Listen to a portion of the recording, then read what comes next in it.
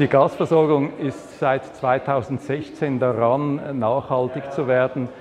Da haben wir begonnen, Biogas einzukaufen und ins Standardprodukt einzuspeisen. Mittlerweile sind wir bei 30 Prozent.